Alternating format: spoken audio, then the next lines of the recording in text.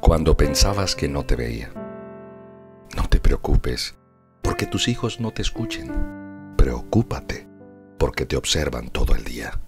Cuando pensabas que no te veía, debí pegar mi primer dibujo al refrigerador e inmediatamente quise pintar otro.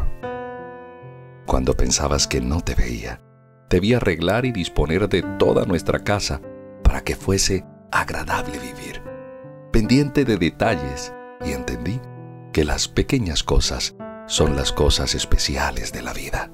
Cuando pensabas que no te veía, te escuché pedirle a Dios y supe que existía un Dios al que le podía platicar y en quien confiar. Cuando pensabas que no te veía, debí preocuparte por tus amigos sanos y enfermos. Y aprendí que todos debemos ayudarnos y cuidarnos unos a otros. Cuando pensabas que no te veía, debí dar tu tiempo y dinero para ayudar a personas que no tienen nada.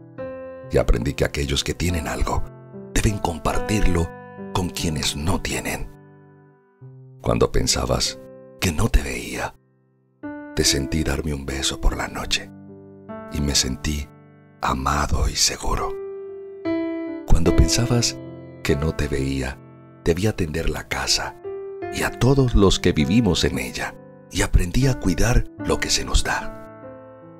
Cuando pensabas que no te veía, vi cómo cumplías con tus responsabilidades, aun cuando no te sentías bien, y aprendí que debo ser responsable cuando crezca.